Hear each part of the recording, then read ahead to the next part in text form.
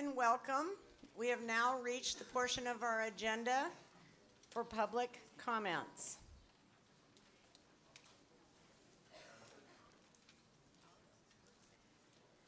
Board Procedure 1430 has rules of conduct for public comments. One person speaks at a time. Comments should be addressed to the board. Please adhere to the time limit on your testimony. When you have 30 seconds left, a yellow light will shine. Please keep that in mind for your 30 seconds. When the red light comes on, please finish your comments. The majority of the speaker's time must be spent on the topic that he or she, you, has indicated they wish to speak about. The focus of the comments should be on issues and hopefully solutions. No racial slurs, personal insults, ridicule, or threats will be allowed, and no comments regarding personnel matters will be taken.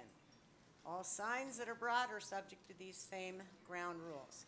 We will read off three names at a time, and if you hear your name in second or third position, if you would line up behind the podium, much appreciated, so that we can keep this meeting rolling. We have a packed agenda tonight.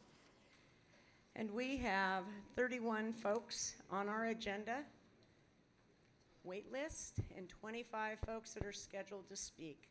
Thank you very much.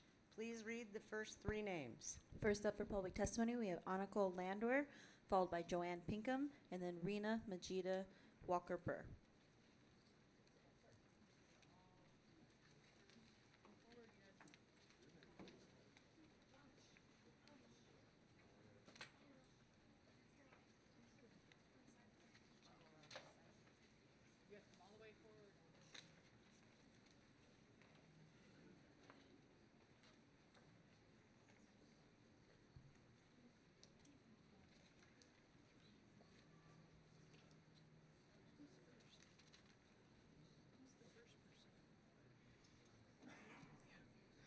Um, my name is Alex Landwehr. I am a Seattle Public Schools student who attends a non public a- agency, and I am a youth who attends Clear Sky, which is one of the two parts of UNEA, two times a week.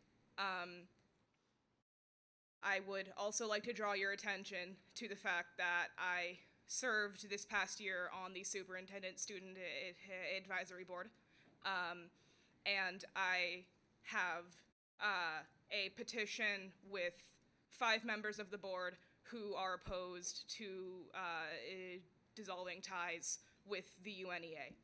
Um, I have never received anything from Seattle Public Schools that feels like it is relevant to me and my culture.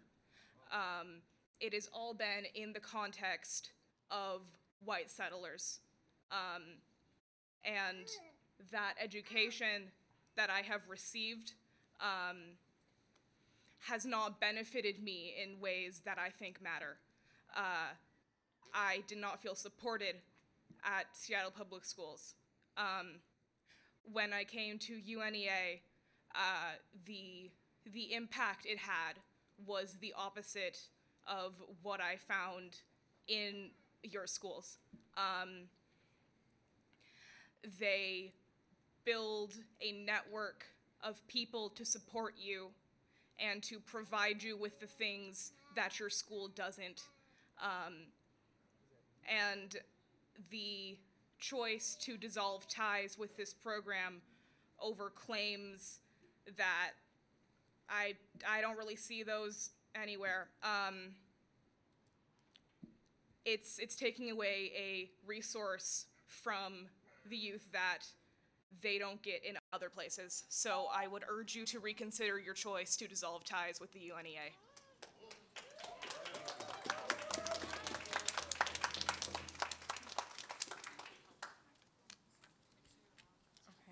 Hi, Dad. Um, as you probably may know by now, my name is Joanne Sayers Pinkham, and I'm Ojibwe Nesperson Tlingit. I have four items to speak on. One, restore Indian heritage in the African American Academy. Dedicate the 1.3 million for each. Two, Licton Springs. Do not relocate American Indians or close another Native Focus School. Mend the relationship with Licton Springs, UNEA, and Robert Eagle staff. Follow your own guidelines. Stop pushing out SPS students. Three, adopt the Duwamish resolution as amended. Memorialize support of treaty rights and benefit of the Duwamish Nation to be distributed with and include as part of the proposed instructional materials adopted. Four, superintendent's evaluation. Recommend that she remain on probation because she talks about student equity, bri- bridging the gap for all students, but refuse to help them be successful. Reopen the African American Academy or Indian Heritage and stop endorsing institutional racism. The SPS mission state, statement states Seattle Public Schools is committed to ensuring equitable access, closing the opportunity gaps, and excellence in education for every student. In March, as you know, the SPS strategic plan did not include American Indians. The SPS leadership is focusing their educational values down our throats, just like Captain Richard Pratt did in 19, 1892. Remember him? He coined the phrase, kill the Indian, save the man. History is, history is repeating itself, people. Only the names have changed to Seattle Public School, District, and leadership. Shame on you for allowing racism to affect your abilities to do the right by all students. Shame on you for allowing the genocide to continue. We're tired of being forgotten by the superintendent, who is also an American Indian.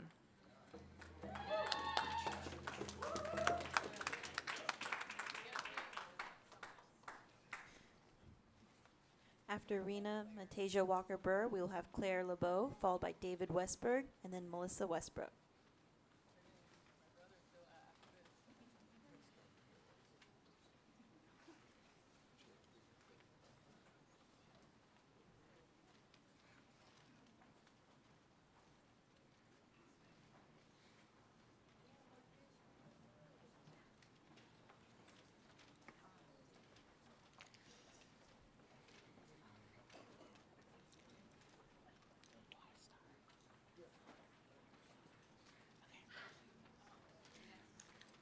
Name is Rena Mateja. I am the first vice president for the Washington State NAACP Youth Coalition, NYC for short.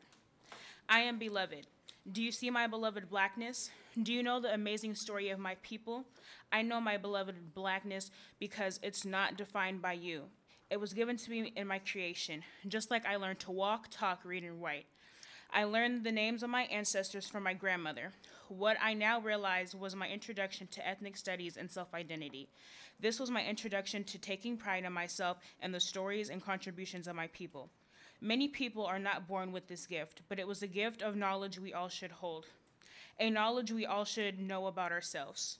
You teach us about Columbus, but there were black people on this continent 4,000 years before Columbus was even born. You teach black people, you teach black history started with the enslavement of black people, but you forget to tell us we were kings, queens, mathematicians, healers, and so much more before they captured us.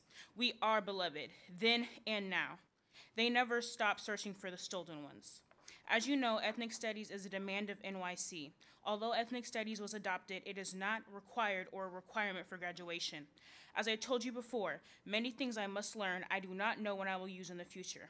Ethnic studies helps us to be better global citizens every day who has empathy and respect. Many people walk around ashamed of who they are because they do not see themselves in their learning or school environments. Many people walking around blinded by privilege and cannot cope with their adversities of life happening, both being fed a lie and suffering from toxic repercussions. We need ethnic studies to be a graduation requirement to do to do so, we must support this work. Dr. Kyle will be retiring with why is what is your commitment to supporting the success of Tracy, the ethnic studies manager?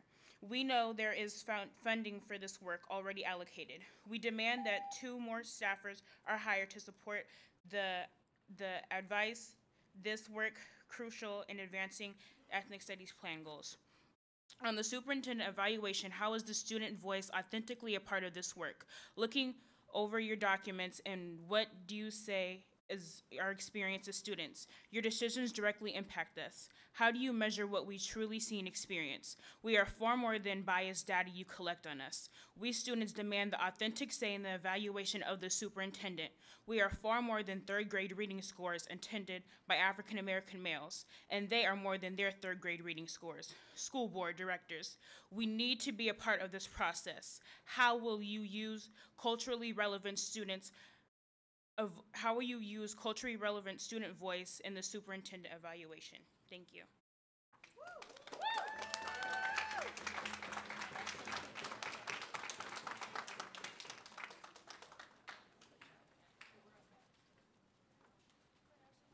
Hi, I'm Claire LeBeau. I'd like to cede my time to Kshama Sawant.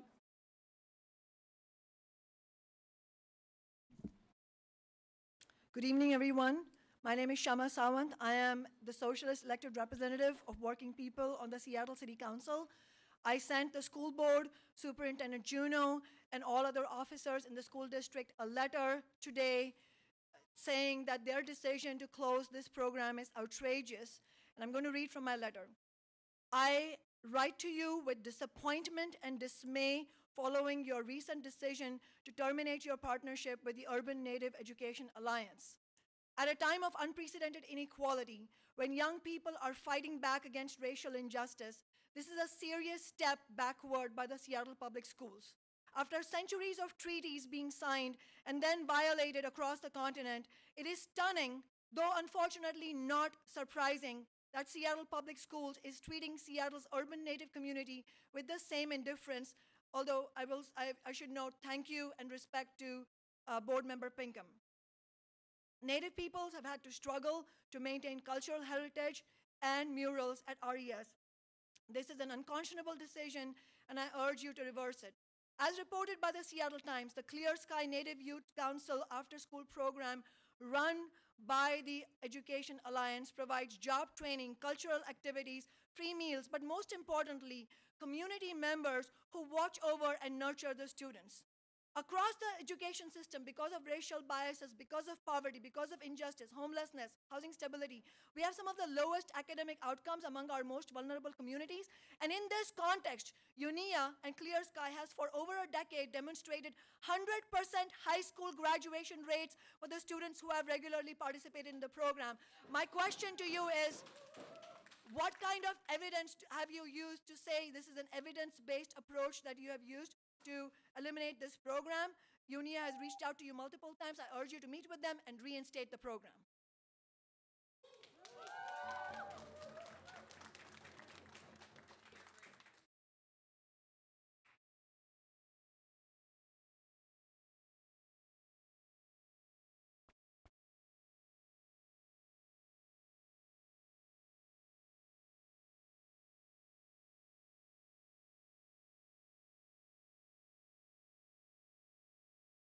David Westberg?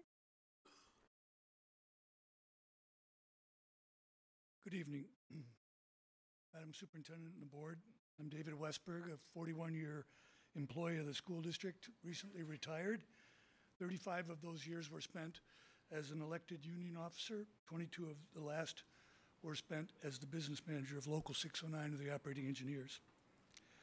We, uh, this is about my 10th time coming down here and speaking to apologies and promises we're never going to do this stuff again with the unfair labor practices. And guess what? I'll bet you have people upstairs doing it right now, planning to do it, and facilitating it at five other schools. it doesn't matter. We hear a lot around here about whose lives matter, but we know whose lives don't matter.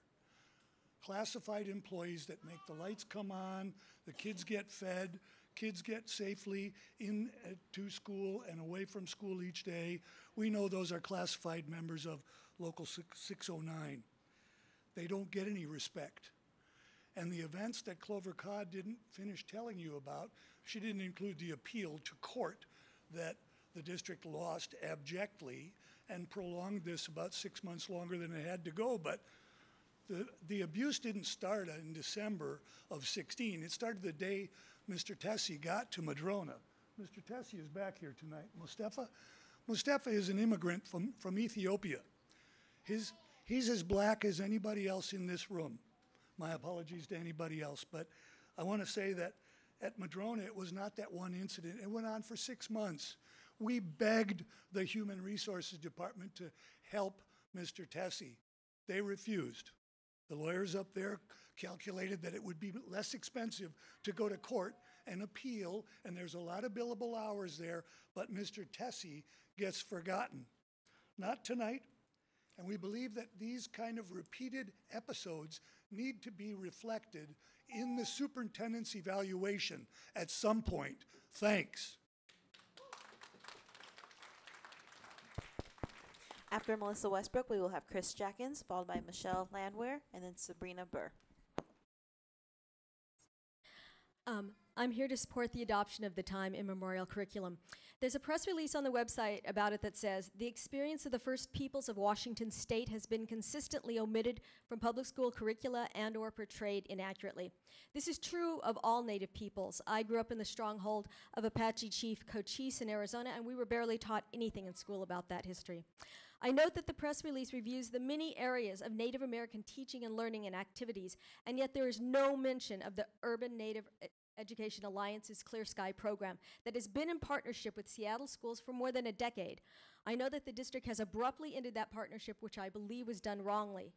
But to bring this up, because I would never presume to speak for any Native American, my understanding of history in this country is not only did the American government attempt to wipe out those people, they whitewashed the history. What is Seattle Schools doing here in that press release but whitewashing history? The district cannot even acknowledge that partnership and give thanks for the huge number of activities and supports that UNEA has given Native students for a very long time. Please, no revisionist history. Have the good grace to do the right thing and give credit where it is due. I also note that there's a notice for a summer program for Native students at Meany. The notice doesn't state what grades or what ages the program will serve. And as a student data privacy advocate, I was startled at this requirement, allowing program staff to post my students' pictures at public education events. This is wrong. No family should have to allow their student's photo to be used publicly in order to access a Seattle Schools program. I ask that that requirement be rescinded immediately. I also asked the board to request from the superintendent a review of the ending of the partnership with the UNEA and a review of the documentation leading to that decision. Thank you very much.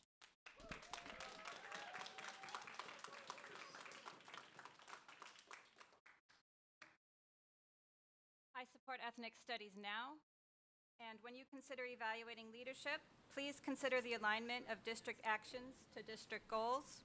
Implementing, Ex- Excuse me, are, are you next on the list? I see Mr. Jackins' Oh, name next on the list. Okay. Thank you so much.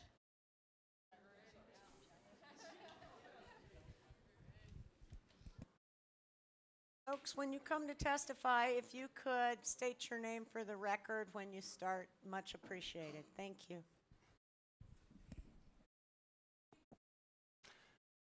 My name is Chris Jackins, box 84063, Seattle 98124. The naming of the Rainier Beach High School Library. Two points. Number one, I support the naming of the library in honor of School Board Director Betty Patu. Number two, please change district plans to demolish the library and most of the rest of the school. The history at Rainier Beach is important. On amendment number one to the Tribal History and Culture Instructional Materials Adoption, two points. Number one, this amendment would attach Board Resolution 2016-17-1 as part of the materials adoption. This is a good idea. Number two, the Duwamish Nation should not be ignored. The City of Seattle is named for Chief Seattle, a Duwamish chief. Please vote yes. On amendment number one to the 2019-2020 budgets for to reestablish a Native American focused option school and to reopen the African American Academy. Three points. Number one, some years back, the district wrongly closed Indian Heritage High School and the African American Academy. Number two, this amendment would bring these schools back to life. This is a good idea. Number three, I am including a letter in support of the amendment.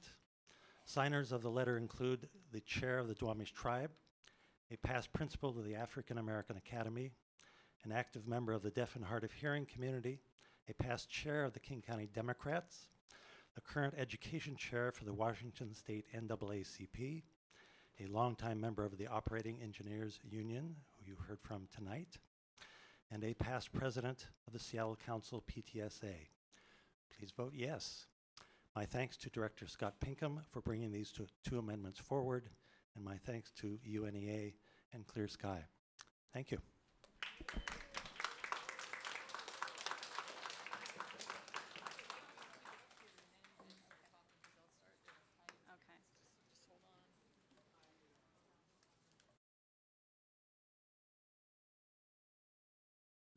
Okay.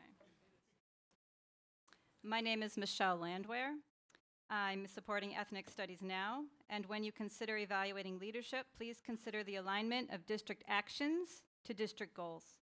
Implementing since time immemorial, which teaches about the harmful impacts of colonialism, while simultaneously perpetuating colonialism through the termination of a successful Native partnership, does not demonstrate alignment.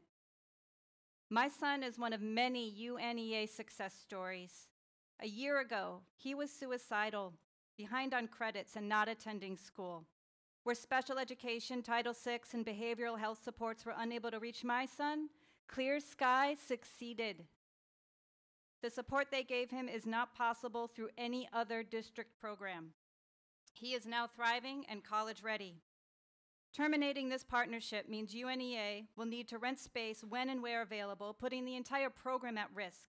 There's absolutely nothing in your policies and procedures preventing you from continuing this partnership, and I beg of you to reconsider. I've submitted a petition signed by 500 community members asking the same. I cede my remainder to Eric Blumhagen. Hello, my name is Eric Blumhagen. The letter that UNEA received said that the program was far out of compliance with Policy 4265 and Procedure 4265 SP. And the flaws it noted were that it was not aligned with schools' goals, that the, there was no list of students attending, there was no sample content or curriculum, there was no evidence that Eagle staff or Licton Springs students ser- were served by the program. So I looked at those policies and procedures, and you know what? None of those requirements are in either one of those documents. You know what is in 4265 SP? That after school programs should support the developmental needs of children and youth and complement teaching and learning dur- the- during the school day. I can't imagine a program that better fits those requirements than UNEA's Clear Skies. Thank you.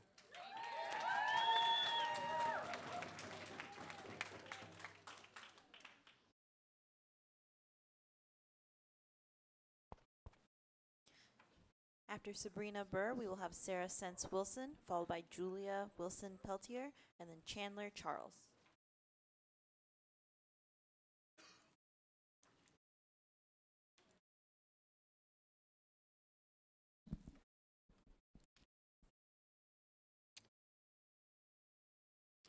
I am Sabrina Burr.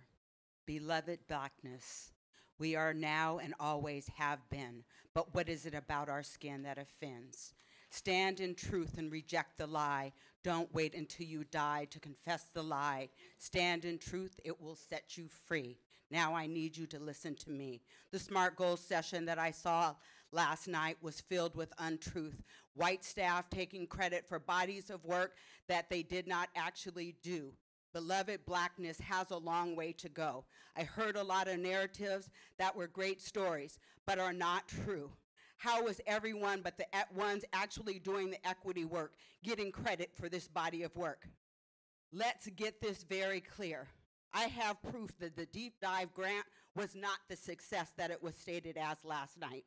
Seattle Housing Authority and Seattle Public Schools have deficit pace approach- approaches on family engagement and need more culturally responsive, authentic approaches. We must be truthful in the narrative if we are going to build trust and transparency and have our words and actions aligned. Culture of pulling out good parts of a story and using it a whole narrative is strong in this district, and this culture must stop right now. I am extremely concerned about the superintendent and valuation after what I witnessed last night. I also want to say senior staff yelling and talking down at people does not create an environment that embraces beloved blackness or anyone's humanity. Eradicate toxic ways of doing, being, and thinking. Yesterday, I saw a table of white people uh, telling half troops and making decisions for families they do not know and hold false narratives about. This culture trickles down to buildings.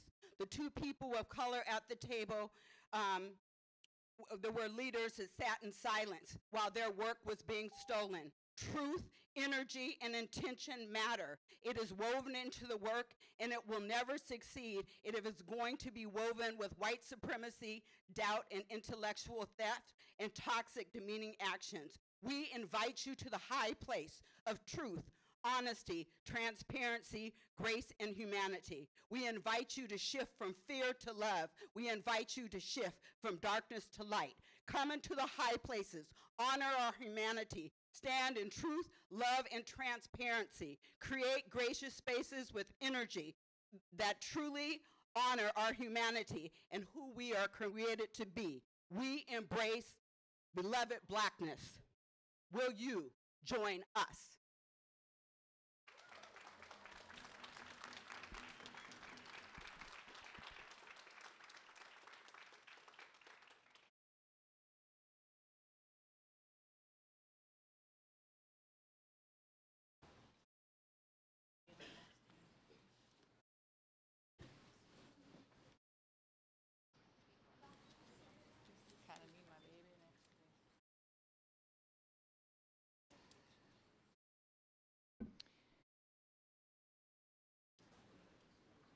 We support the amendment for the African American and Indian heritage and the STI. We are requesting the district rescind their decision to terminate our partnership agreement. Our partnership with Seattle Public Schools extends the duration of Clear Skies origins of over 12 years. Previous partnerships with leadership at Nathan Hale, Licton Springs, Heritage Middle College, and Cascadia were mutually respectful and operated seamlessly because the leadership supported our community and because they fully understood the vital need for our Native students to have access to the unique resources and supports that we offer that are not otherwise offered within the district. We disagree with the district claims and allegations and refute the accusations noted for terminating the partnership. We do meet the outlined requirement, parameters, and criteria under policy and procedures number 4265. Please read them. Our program quantifiable data deadline is due at the end of the school year per your policy. We work within a cultural framework and approach to support students. Our home at Licton Springs provides a safety net, a lifeline to many over the years. Our ties and deep rooted connection with Licton Springs is experienced by many of us inherently intrinsic and as an ancestral relationship. The trauma and unnecessary harm inflicted on, your, on our community is neither provo- provoked or necessary. Promises made by Jose Banda need to be honored, and commitments made to our community need to be realized for our youth, families, and community, past, present, and future. Amounts of over 150,000 in-kind donation and over $200,000 in funds have gone towards Native student success through UNEA to, to the district. The offer to rent space is flawed and a veiled, empty alternative, given the fact that the decision to rent space to outside organizations demotes UNEA to a lower priority. And then it still requires approval from the, the school leadership. We need an MOA with the superintendent to secure lasting, a lasting home for our community and to begin our healing and to mend broken promises, trust, and respect. Thank you.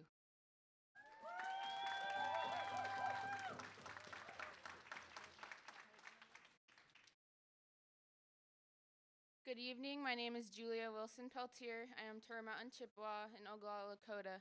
I am a co-founder of Seattle Clear Sky Native Youth Council and have been volunteering for UNEA for the past 10 years. I am here to express how strongly I oppose the district's decision to terminate our partnership with Robert Eagle Staff School, and here are a few reasons why. The land Robert Eagle staff is on has incredible historical significance to the Seattle urban Native community. I know I grew up attending community events and open gyms there, and I want the same for my son to be able to attend Native events there too. You would think a school named after a Native leader would want to honor his legacy by supporting Native youth, not trying to terminate us and oppress us. If you want to kick us out, Robert Eagle Staff School doesn't deserve its name, the native murals, the Eagle Staff, and the star quilt in the building, because clearly the school is trying to be something it's not if our native community isn't welcome there. This is a reenactment of the historical trauma our ancestors went through, which is especially triggering to our youth considering many of them are in foster care and Clear Sky is the only connection to their culture they had. Also, using the term John Halfaker used in his letter, termination, is poor word choice when working with Native populations, and it sure feels like history is repeating itself. UNEA is a nonprofit led by volunteers who genuinely are trying to help the Native youth in the Seattle area, something that kind of sounds like you should also be doing. Everyone in UNEA has good intentions, although we are often treated like villains by the district and staff at Robert Eagle Staff School. Indian people are always the defenders, never the aggressors. We should be able to put this energy and resources towards supporting our youth, not trying to save our program. I urge you to establish an MOA with UNEA and reverse this devastating decision. And as a reminder, all of you are elected public officials who were voted in, and you can also be voted out.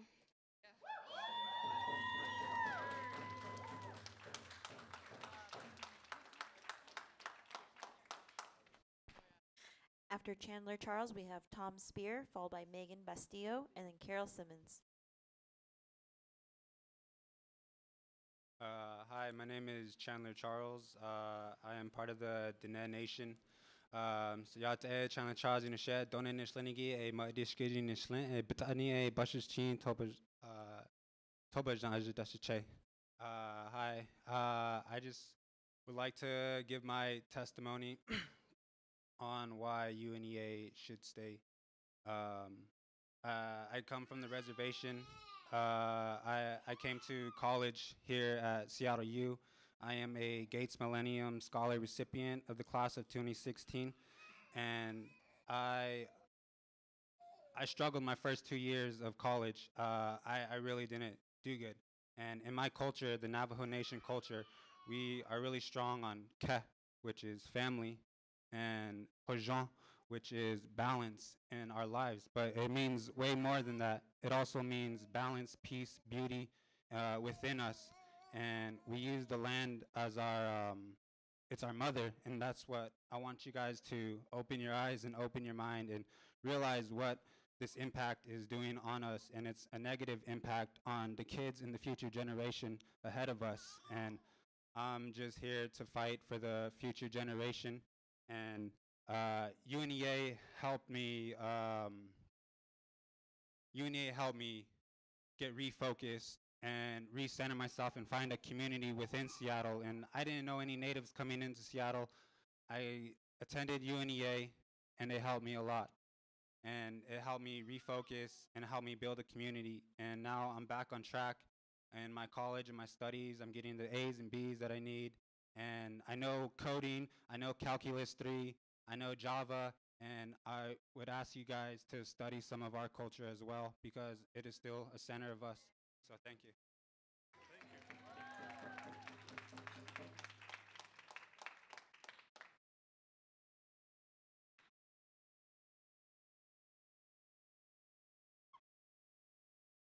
Good evening.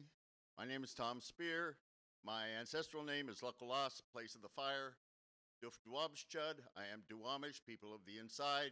We're the first people here. We're the only people here. And everybody else is a false claimant. Just a personal opinion. Um, I was present last fall with three other adults from UNEA and representatives of the school district, and we talked about an agreement and what, what we needed to move forward. All three of those uh, other adults are here tonight, and I am willing to testify in the court of law, federal court if I'm required to, that uh, the things in that letter are false. We were never presented with any agreement that we did not sign. We have not been contacted in nine months about quarterly meeting or any, any other things that it, the letter claims we are deficient in. It simply isn't true. It's a pack of lies. It's insulting to all four of us who were there gave our time at our own expense while everybody else at the table was on the clock getting paid. We're volunteers. This isn't for me. My kids are well set for life. It's not about me. It's about the kids that don't have a strong dad, maybe don't have a dad at home, and uh, need the chances that I was given and my children were given because we fought like hell for them. So you didn't give us these agreements. The letter claims you gave us, and uh, it's a lot of baloney. And I want you to know that it's a lie. We know it's a lie, and we're going to tell the world that it's a lie. That letter's full of crap. Thank you.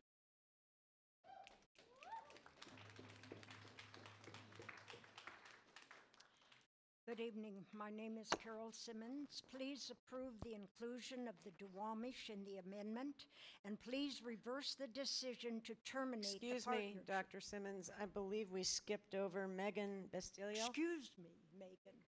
Where- Here's Megan. Thank you. Hello, my name is Megan Castillo. I am a nonprofit partner of UNEA Clear Sky through my affili- affiliation with my employer, the nonprofit Town Hall Seattle. And I am a descendant of the Tlingit people of Southeast Alaska. I am here to speak on the eviction of UNEA Clear Sky- from Robert Eagle Eaglestaff Middle School. I believe it is in the best interest of the school board to amend this appalling removal of a very effective youth program. It is very confusing and concerning to me that Robert Eaglestaff Middle School would exist looking the way it does, bearing the name that it has, and evict a native led youth organization. Seattle Public Schools cannot use our name, our likeness, our image, our beauty, while simultaneously punishing us for being ourselves. The hypocrisy of an institution named Robert Eaglestaff Middle School charging Native youth to use the facility is outlandish, ridiculous, and immensely shameful. I cede the rest of my time to Robert Upham.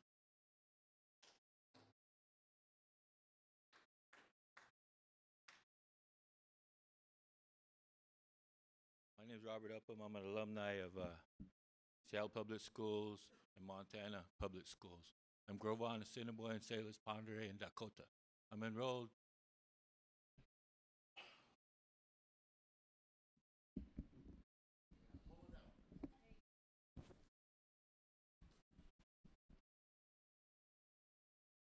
Our value system isn't based on time like this. In such a linear structure, all these spirits cannot be heard. In this paradigm, I apologize for how we think. Vine Deloria, one of us greatest intellectuals, said when he went to school, when he went to college, he was a C student. He could have been an A student, he said, but he had to indigenize everything.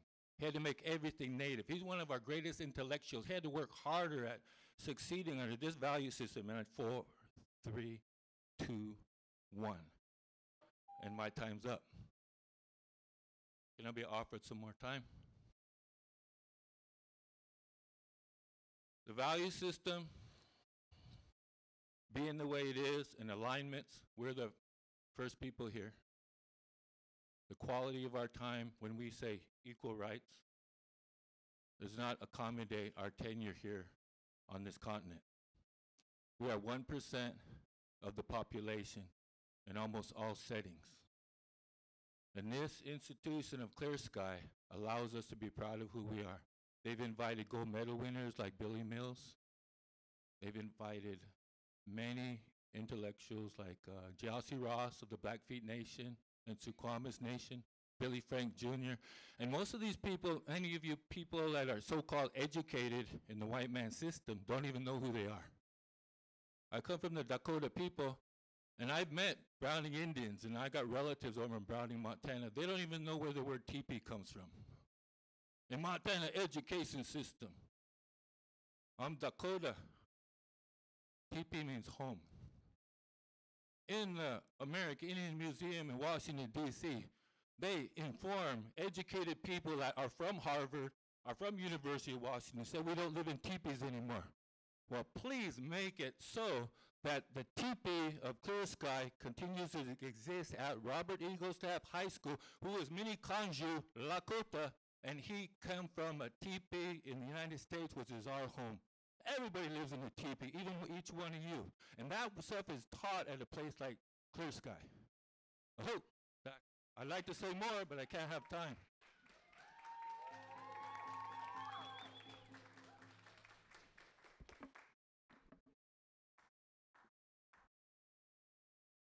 Please reverse the decision to terminate the partnership between Seattle Public Schools and UNEA Clear Sky programs that would evict them from their sacred land of Robert Eaglestaff and Licton Springs. I now cede the rest of my time to Logan.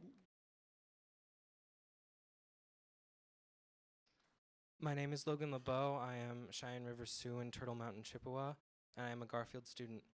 Um, where uh, uh, ethnic studies is currently being demolished. I don't know why, but they're ceasing to teach that class.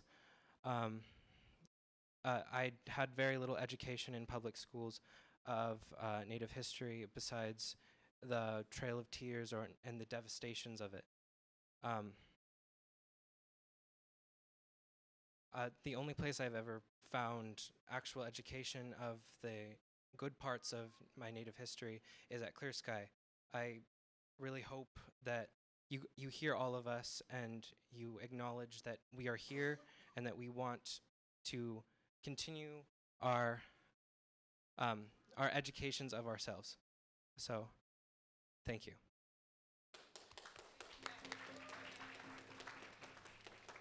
I'm going to take the rest of his time.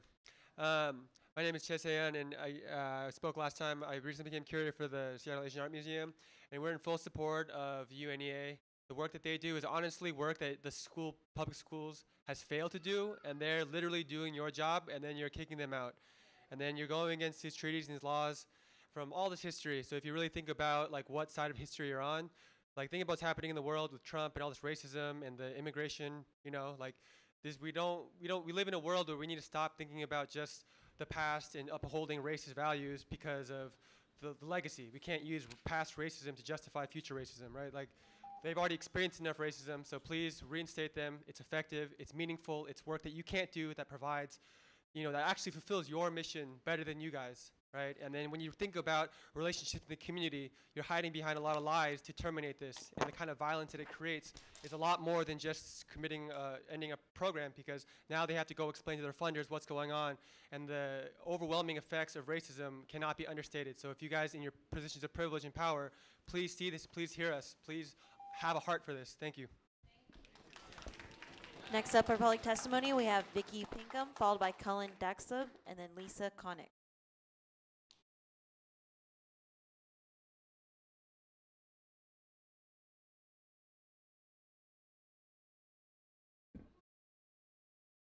I'm Vicki Pinkham. I'm ceding my time to Elizabeth Pinkham. Hi, Dad. Uh, hello, my name is Elizabeth Amalia Molly Pinkham. I'm Nimipu Tlingit and Mexican. My Tlingit name is Uditi, which means strong wind coming. I'm an alumni of UNEA. I'm here. I am sorry that I'm here again and to be asking the district leadership to do the right thing again. I have four items.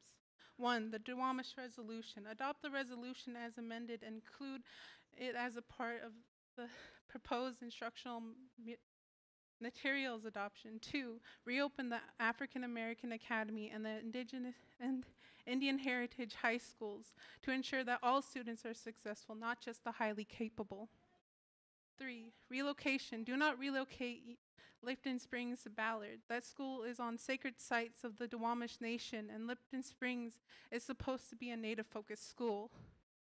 However, they need funding and support, but the superintendent isn't allowing funds towards them. She recommends that we move to a poor, run-down school in Ballard that no one wants now. the overcrowded RES students are assigned to Broadview Thomson and Whitman. Put them back there. When RES was Wilson Pacific, a rat infested, no toilets, no running water or drinking water or heat. That school was acceptable in your eyes for American Indians. But now, now that it's rebuilt, we are no longer welcome. Four, the superintendent's evaluation. My recommendation is that she remains on pro prohibition or be released. she needs to address the the issues of institutional racism against American Indians and Alaskan Natives and African Americans. She talks about student equity, bringing the bridging the gap for all students but refused to help them be successful. In 1945, Elizabeth Peratrovich, a Tlingit woman, advocated for civil rights in the state of Alaska. In her speech, she stated, "Asking you to give me equal rights implies that you that they are yours to give. Instead, I must demand that you stop trying to deny me the rights that all people deserve." Today, 74 years later, Seattle Native kids are being discriminated against and being pushed out of schools. They are still mistreated. The SPS district has a history of not doing things right, but I guess we natives shouldn't expect the district to do right things by us. They don't even want to help. They don't even want to do the right thing for thousands of other students that are being assaulted in their schools every day. It's shameful. It's a shameful day in the history of Seattle Public Schools that you're allowing the genocide to go on.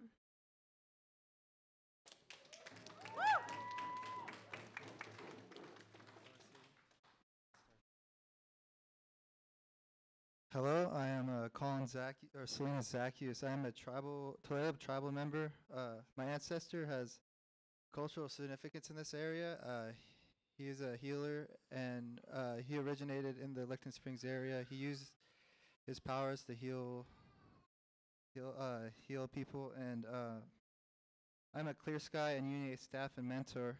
I'm here to request to reconsider taking away the partnership with our program and let us stay at Robert Eagle staff, which was Indian heritage. Uh, there is a cultural, there is a culture where indigenous students thrive in this area. Our, our kids have done amazing projects. I feel they felt the sacred of the sacredness of the area, so to speak, and felt that this is where we belong. The art and the location should not be taken away, but to aspire and grow as a community. It will be it will be the children who will that will be lost and always looking for a place to call home. And when people come to Clear Sky in that building, that is where the culture is and should stay. Um, I can I exceed my time to Robert Upham?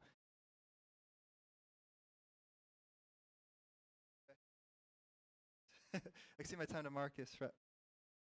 Hello, I'm Marcus Shriver. I am a mentor with UNEA and have been for about a year and a half.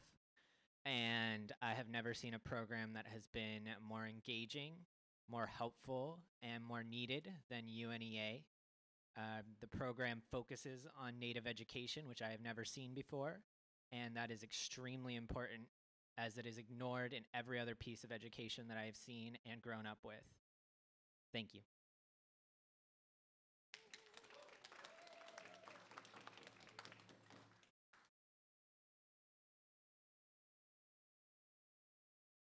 My name is Lisa Koenig.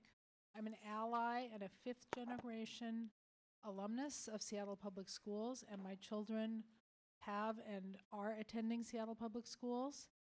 In those six generations, I don't think there's ever been anything more outrageous than Native American students being evicted from Robert Eaglestaff campus by the sacred site of Licton Springs. And I cede the rest of my time to AJ Aguara. My name is uh, Amadaniel Joseph Aguara III. I am from the Colville tribe on my mother's side and from the Nimbe tribe of Nigeria on my father's side. And last year, I graduated out of the Seattle public school system, a school system that failed me and has continued to fail my sisters, younger sisters, and other friends of mine that I've known. But I made it through thanks to Seattle Clear Sky Native Youth Group. Through that group, we have learned many values of community, mentorship, and actually acting on our rights as citizens, the very first citizens, in order to advocate for ourselves and future generations. I cannot understand how our Native group would be kicked out of a school that is named after a very well known Native educator who was very successful in his years here at Seattle. It is very wrong and disheartening, and it breaks my faith in our school system. For now, for what I see, I don't know how long it will be more injustice towards different vulnerable communities of color, even the very first people. I don't know how long that is going to continue for. For all I know, maybe we should have it so our own people from the community need to rise up and take leadership to where we will not be treating different groups as just numbers or inconveniences that need to be moved out of the way. We will not look at any group as just a number too small to do anything about and worth too much resources to even help out. Thank you.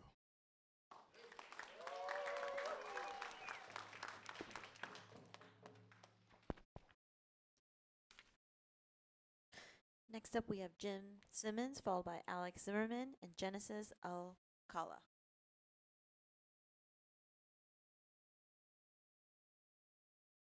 Afternoon. I'm Jim Simmons, uh, teacher, principal, central office administrator, retired Seattle Public Schools, and uh, honorary member, UNEA Advisory Board, Council of Elders.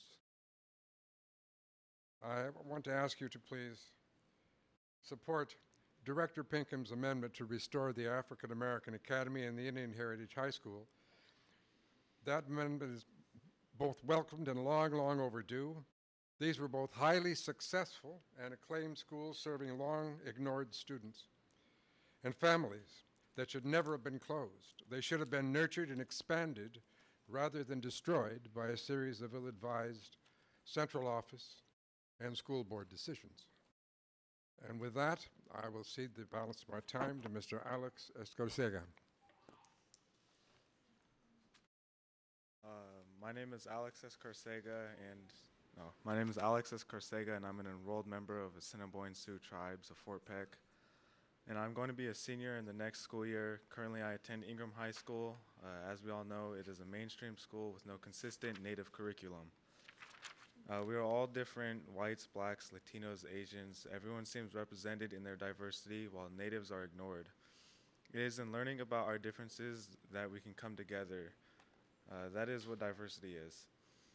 Uh, I believe if I had been attended, uh, attended uh, a high school that is more native focused, I would have felt more welcome and less of an outsider. Um, if natives could be more included, I believe native students could get a lot more assistance, which would raise our grades and open more opportunities to achieve success in high school and beyond. There is a long-standing promise that was made by previous superintendents to revitalize the Indian Heritage School. That was a school that could uh, have met my needs. Since that hasn't been an option, UNEA has uh, been my go-to support system for nearly 10 years. Having it removed from Robert Eagle Staff Middle School is a major blow to the Native community. The location has historical merit as a meeting place for Native Americans, and that continued in recent decades when it was Indian Heritage School. Natives have a long history for forced relocation, and it has just another example of that. Uh, I have younger siblings that are still in school. I encourage the district to establish an MOU with UNEA and revitalize Indian heritage to give them better opportunities than I had uh, incorporated Native studies into their curriculum.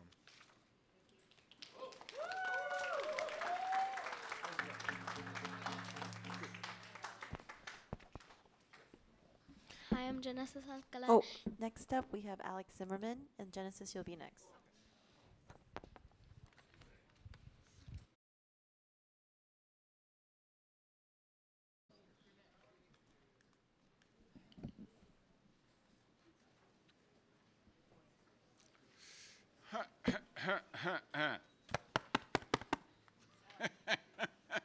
Sie Heil, my dirty Führer.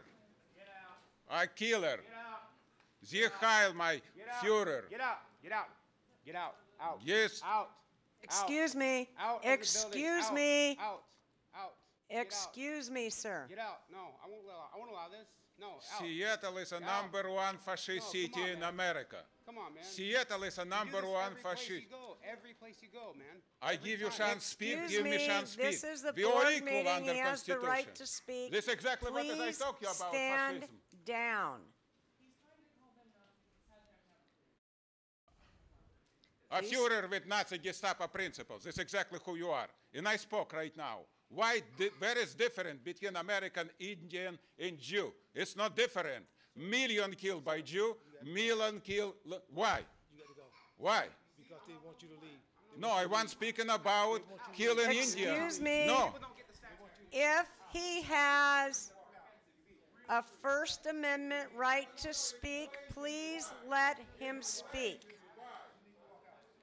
the community members please stand down? You don't give chance people speak. You think you're different than me? Why?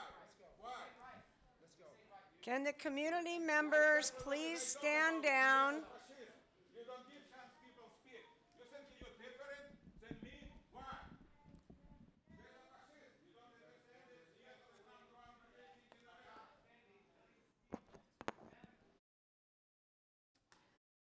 Genesis, it's your turn.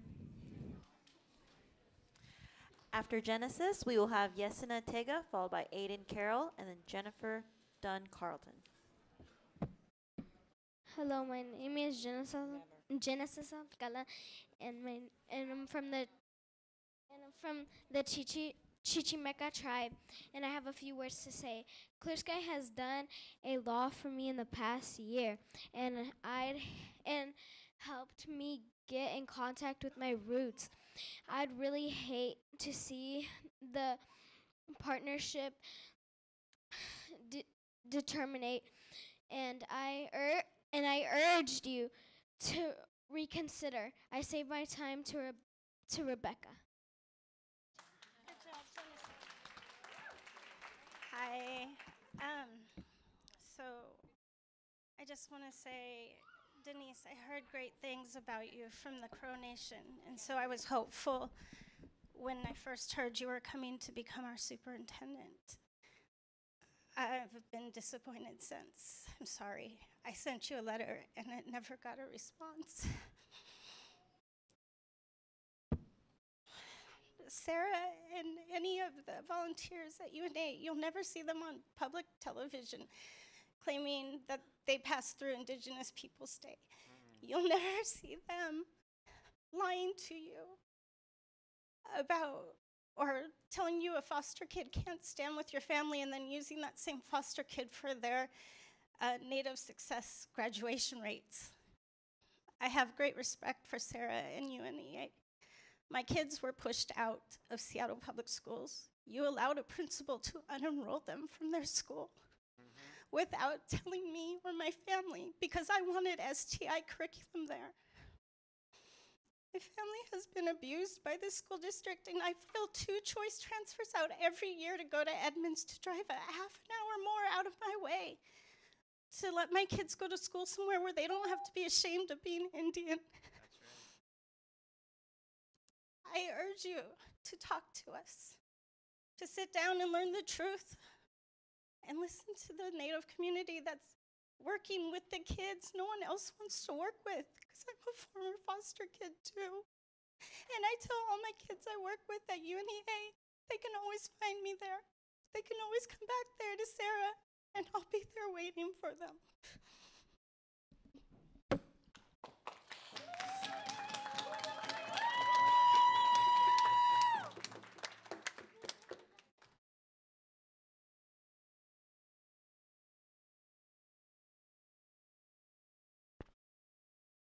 Yesena Tega. Thank you. Aiden Carroll. Hi, I'm Aiden. Um, I uh, uh, have worked with, with UNEA uh, first and last as a volunteer for three years and five months. I uh, took about five weeks off to, to graduate from uh, college two weeks ago, but I um, would like to explain a few things about what's um, been happening. I'm the sorry, I can't. I'm the point of contact uh, for UNEA with the uh, school, partly because the people who run UNEA are working, uh, they're volunteers, they don't have time to come here in the middle of the day, and yet I never got a request f- to uh, meet w- uh, with uh, with with with the principal uh, Marnie or with the point of contact uh, Katie, who's who's been nice er, to, to us. Um, I, I believe you're all well intentioned, so I want to explain the context of what's happening because I'm not sure that there's been really facts out there consistently. Um, I uh, there's a excuse, as it were, that um, we could just start uh, paying for the space, but um, th- that UNEA can't afford that. It has a tight budget on grants and things. That's part of why I'm I'm not going to be working there. I'm going to be a volunteer. Um, it's it's not as simple as just you know leave. uh, or or pay. Uh, part of the reason UNEA is here, there's a context and there's a history. Is 10 years ago, a bunch of kids founded it to save their school. 10 years before, and you know they didn't. They district got rid of it. And 10 years before that, the beloved principal Robert Eaglestaff, who was you know the, the heart and soul of the community, the principal and the basketball team leader and the everybody, dance team leaders, everybody's best friend, died of a heart attack at 42. Um, and the school was shaken, understandably, and never the same. And that's part part of what happened. Partly gentrification, which I'm going to tie this back to you asking us to pay rent. Rising rents have displaced more and more people who used to attend UNEA. I do the outreach and uh, calls for them. Pe- their- the community is being forced north and south by rent. So I guess I'm asking for a form of rent control, which uh, I know there's a rally Councilmember Sawant is pushing for on July 12th. Um, and I'd like to thank Councilmember Sawant for standing with us and, and for rent control for the sort of communities who can't afford to attend UNEA because they have to drive so far now. Um, and uh, I, I, yeah, as I said, I believe you're well intentioned. I uh, live in District 2. I have worked there. I've gone to school in District 3. Uh, and I also work in District 4 sometimes. And um, I, I think, I, I'm sort of forgetting what I was going to say. But um, we have about 10 students who go to Robert Eagle staff the last two years. um, more who go to Licton Springs uh, K8, which is not big enough to hold the program. There's nowhere else to hold it really because uh, when no- uh, Indian Heritage High School was got rid of 10 years ago, it was moved to a couple small windowless rooms on the second floor of Northgate Mall, and there's nowhere room there either. We Can have a bunch of students from there. There's also It a bunch of students who come here from Ryther, which is the of the modern equivalent of a home and if school for orphans and foster kids, and there's no room to hold it there either because you know that's not connected to Seattle schools. Uh, UNEA exists because Seattle Public Schools has not been doing its job to support Native kids. Well, the other thing we're accused of is not fulfilling the connection to their learning goals. Anything regarding supporting these kids raises test scores, self-confidence, and caring about school. You have to support kids and get them, you know, uh, the uh, Maslow's hierarchy of needs, get them to your care. remarks. It That is is not all. fair to the rest of the community. It's not Thank fair you. what you're doing, but thank you for listening. And I hope that you are good intentioned and are willing to understand what's actually going on here. Thank you. Next up, we have Jennifer Dunn Charlton, followed by Jonathan Greenberg, and lastly, Darren Hu.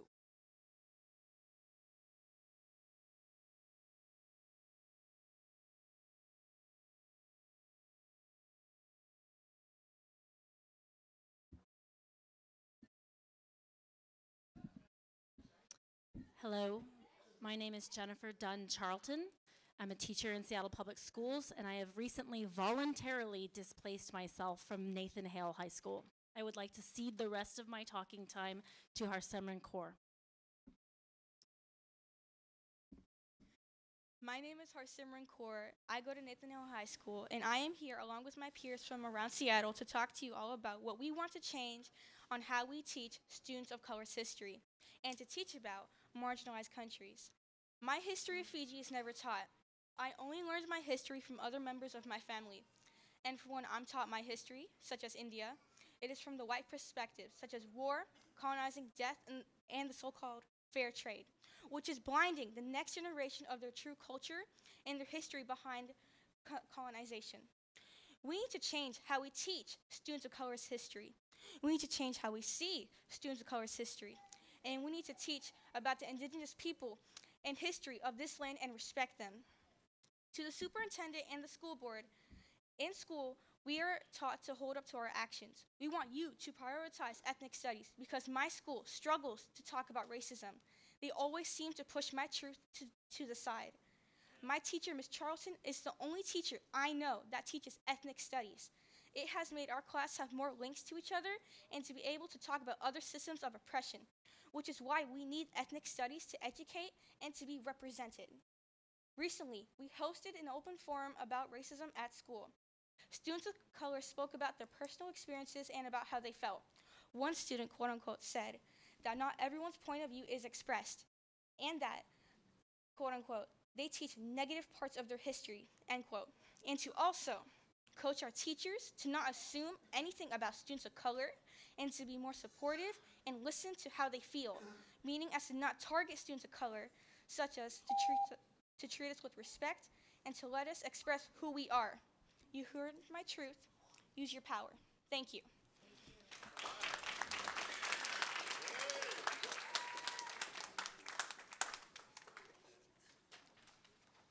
I cede my time to Erica Ijoma and Anissa Roydad.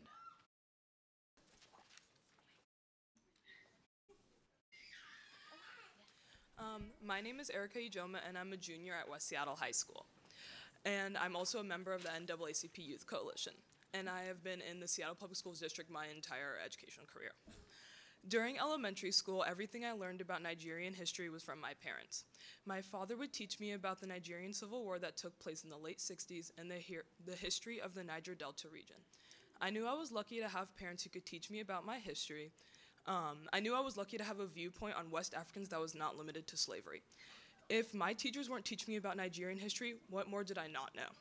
Now I know there is more to history. I know the social studies curriculum doesn't even begin to cover my history or other minorities. I know Chinese history is more than railroad workers and the Chinese Exclusion Act of 1882. I know Spanish history is not limited to American exploration. But what about my peers who didn't know that? My peers who felt undervalued because they did not have the opportunity to learn about a non Eurocentric history. My name is Anissa Roydad. Like Erica, I grew up without being taught my history or my culture. I didn't even stop to think about it because what I was taught was that whiteness was the norm.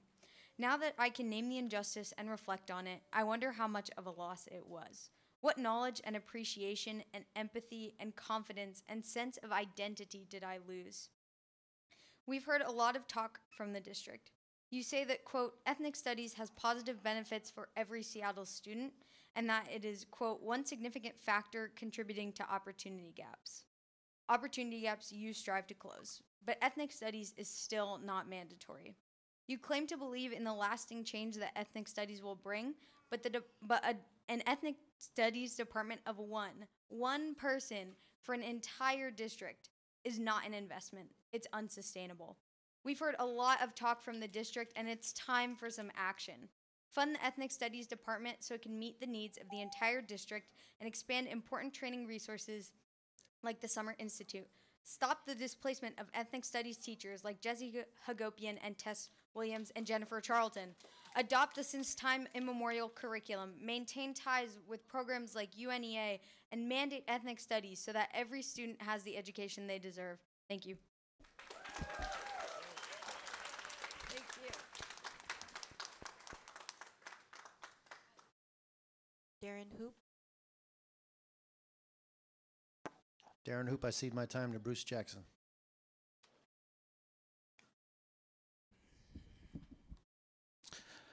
Maya Angelou speaks of a cage bird singing, and each day I see our students of color singing that fearful trill. In the cage, of the current master narrative has created. Uh, there's a world among the clouds, but they don't even know they can fly. Institu- institutionalized racism is a, is a cage. Ethnic studies could be our key. We break our study of those wings into four essential categories identity. Who are we? Who were we? Who do we want to be? For people of color, these questions are never asked in school. Why? How do we answer these questions? What do we do with the answers? What would happen if we taught self awareness pre American history? Knowing our identity changes the way you approach the world. Knowing your identity changes the way you see yourself. Knowing all of us knowing our identities changes everything. It ends colonization and ends and begins collaboration. It ends the study of them and begins the study of all of us. It ends oppression and begins freedom.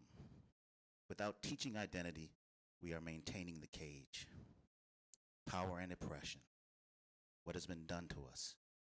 What does the founding of this nation cost people of color? What does oppression look like? What are the patterns of this oppression? How have we how have these patterns shaped this nation? How have these patterns of oppression changed our perception of self and the way we currently live in and the world we currently live in? What do we have in common in this oppression? And do we want to maintain this bar in our cage? Resistance and liberation. What have we done to end this oppression? How have we changed this nation through our resistance? What have been the cost of that resistance? How have we gained the freedom we have? What do we have in common with this struggle?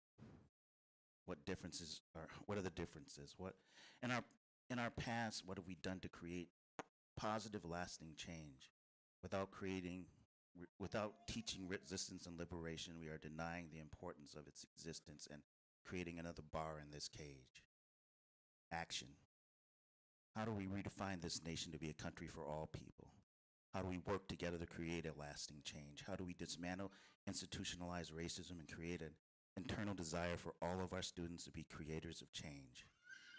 How do we use what we have learned in the previous lessons to remake a world that appears to have lost its way and is in desperate need of new voices? Education without action leads to complacency and apathy and becomes another bar in this cage. Um, I speak for ethnic studies because I see our people, I see ourselves as a, at a precipice. We can fall backwards into the stubborn abyss of ignorance and oppression, or we can create wings for each and every one of our students. We can create, we can continue to worship the cage without through our inaction, or we can even continue to make that cage stronger by using the current master narrative, or we can fly. We can fly past those bars to the promise of a new day. Let this be our new day. Thank you. This concludes public testimony this evening.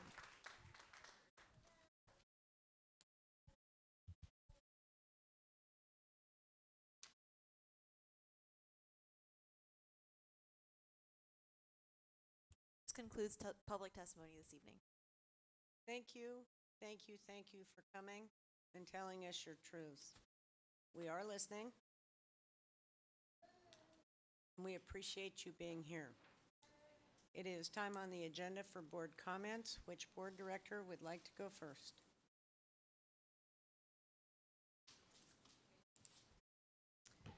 Director Burke? I will follow on uh, Director Harris's gratitude for everyone that took their time out of the evening to join us. Um, and a few topics to discuss. Um, important meeting this evening, and uh, some really important topics. So I'll start with where we started, which was with the, the Meany Middle School's BWB drumline, which was amazing. Um, you know, and it uh, amazing complex synchronization. It's really cool, and lots of foot tapping from my colleagues. So that was a great way to, to start the evening.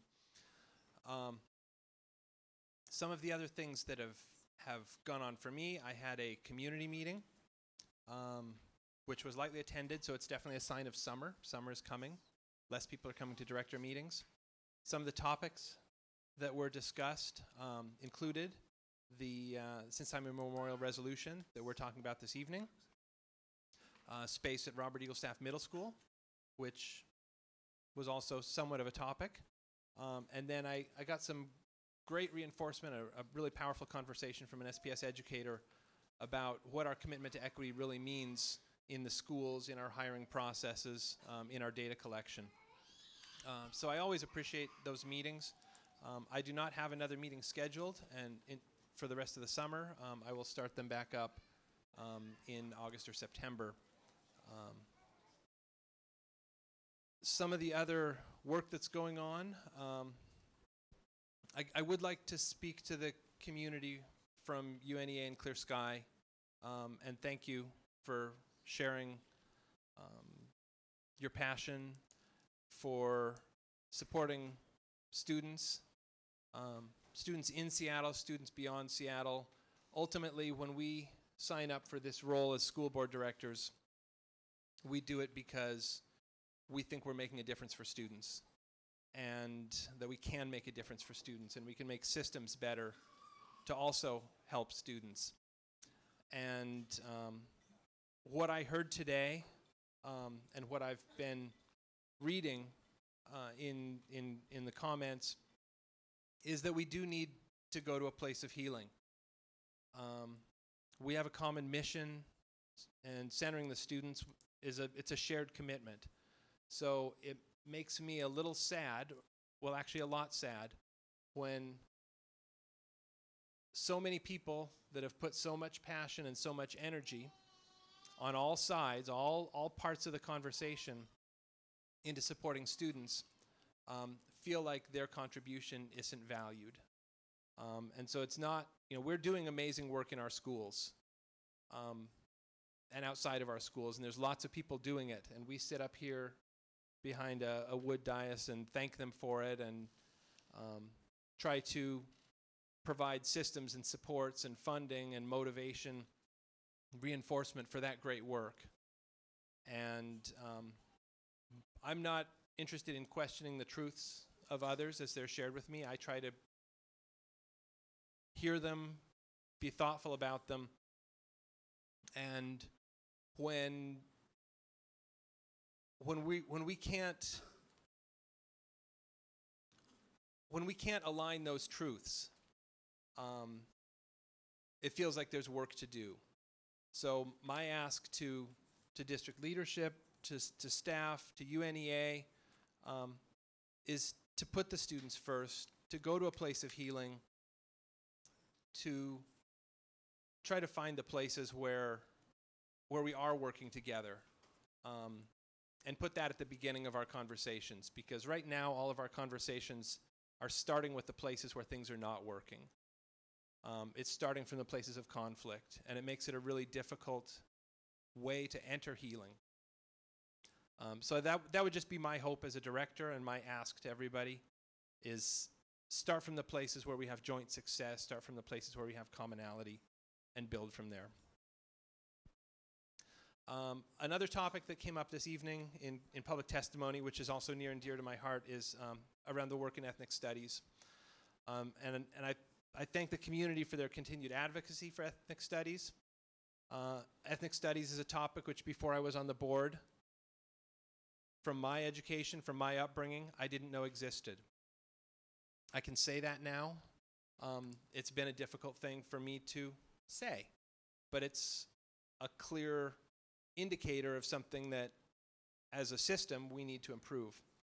And I just want to make sure people recognize that there's a huge amount of passion, a huge amount of energy, and a desire to do it faster. Um, but we have to do it right. And so some of the things that are in place, you know, we talk about a graduation requirement. And there's a risk that a graduation requirement could be a one and done situation. And what we really need is an infusion. Uh, so we're doing work around our policies for adopting instructional materials so that we can supplement and formally approve as a board ethnic studies components, not just as a graduation requirement for high school or a single class, but as a element of any or every class as it's appropriate as identified by our educators who are awesome at this. We're going to have a, methodology that the board can approve that supplemental material, what we are calling extended core instructional material. And in doing so, we can fund it, we can provide professional development around it, we can build it into all of our schools, all of our classes, all of our grades where it fits best, where it's been identified as having the materials, having the need. So I'm, I'm really grateful to the community for pushing on it, and I want you to continue pushing on it and know that we're not just looking for a one and done, we're looking for an institutional solution. Um, one other topic that's going to come up later that we may not um, not have a chance to get to all completely, I wanted to acknowledge um, the student and community workforce agreement. Um, this is going to come up as an introduction item, and I know that we had some guests um, that, that joined us. Uh, we're hoping to also testify and share. We talked to them a little bit at the break. And it's a conversation, it's much like our capital projects. We spend years funding a building, and then we spend a short period of time creating it, and then we spend years enjoying it and benefiting from it. And it's the same sort of thing with this agreement um, that it's going to take some time to build it, and we're going to benefit from it for years and years. So I want to acknowledge the partners that have helped us work with that and thank any uh, construction partners and craftspeople that uh, joined us that are still here. Um, that's a really important element as well. Um, I will defer my comments regarding the um, amendments specifically to when those come up. Thank you very much. Next up. Board feedback.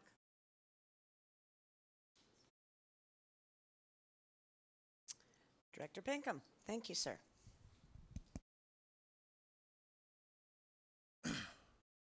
Tatskalawat and Katsiaya, Inim Nimipu, Inim Samok, Inim Winikesa, Scott Pinkham. Uh, Thank you to everyone that uh, came here tonight and spoke, um, speaking your your truths, and hopefully, you know, letting everyone here know that other voices do need to be heard. You know, with UNEA, with ethnic studies, there. Thank you all for for coming here and uh, being part of this uh, public school system. You know, so uh, I'm seeking that we do raise everyone up. Uh, firstly, and let me back up a bit, uh, as Director um, Burke mentioned the Meany Middle School drumline. I really enjoyed them. Uh, and but for some reason, in my mind, I kept on thinking about cowbells. There needs to be more cowbells. Uh, uh, that's a Saturday Night Live reference, if people aren't following there. But I want to thank them for coming here and uh, want to mention also that uh, I was, was proud to be part of the UNEA Rites of Passage. That my daughter is now finishing up middle school and moving up to high school next year, and we're very honored to have uh, Ladonna Brave Bull Allard as a keynote speaker there.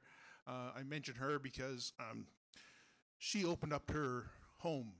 Uh, the, for the Sacred Stone Camp at uh, the Dakota Access Pipeline protests, and she got to be there and share with the students. You know, this is the change that you can be. Uh, you know, don't let the system sometimes uh, get you down. Uh, let you know that you can still stand up uh, for what you believe in. And I think they're showing it here tonight by coming here. Uh, we also had the privilege of having Michael Vendiola uh, there as our MC, the former super OSPI Native American Education Director. Is that what? Uh, it's kind of what you used to do, I think, in in Montana. try, to, try to remember the title, but I want to thank him for being there and thanking all the graduates out there as well and the people that supported him. Um,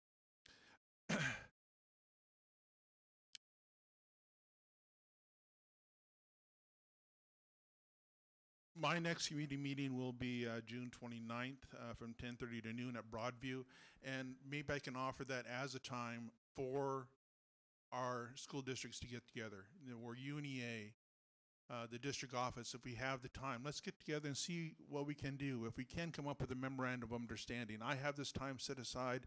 If other people can make it, let's get the conversation going. Let's not wait until next year. Let's not wait any longer than we have to, because I think we can go forward in a positive way. Uh, and I felt, I personally must say, blindsided when I saw that letter come out because I should have been, hey, Scott, I know you're connected with the UNEA. How can we help out? But I wasn't.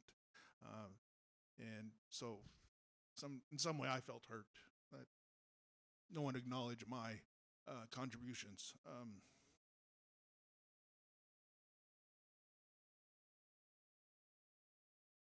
I also want to take this time um, to explain my amendment, even though it is going to come up, I'll have sometimes that I don't mean to disparage the Muckleshoot Nation, the Suquamish Nation, uh, or Snoqualmie nations. Yes, they are our sovereign nations around here because they're federally recognized, but we have a lot of other nations out there that are seeking federal recognition. And the Washington State recognizes Chinook, Duwamish, some Nooksack bands that are seeking federal recognition, that they are, in a sense, organizations.